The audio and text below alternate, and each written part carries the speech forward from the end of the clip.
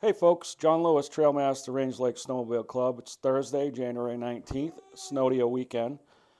This week's trail report sponsor is Wind Waste Innovation out of New England. They'll handle all your trash needs. Give them a call, Wind Waste Innovation. Thank you to them for a bomb sponsorship.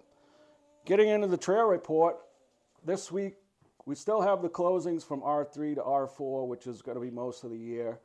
We've got shared access on 108 Flatiron Road.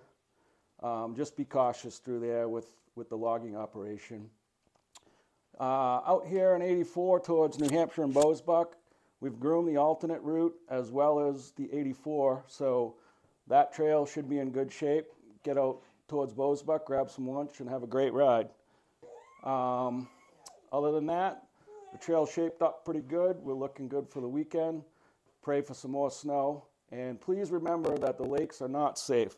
Stay off the lakes. Um, just don't want to see something happen to anybody that's unfortunate. So please stay off them. Uh, getting into Snodeo weekend. This weekend we got um, casino night tonight at BMC. That starts at 7 o'clock. Um, tomorrow we've got the poker run.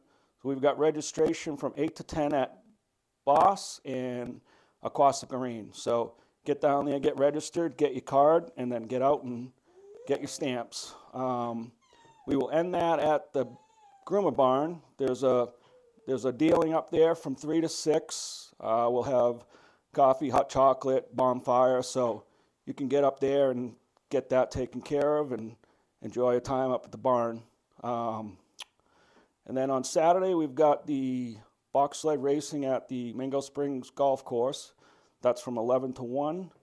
And then we've got the parade set up and leaving the Rangeley Inn at 5.30 and fireworks to follow at the town park. So get up, have a good time, be safe. We'll see you this weekend.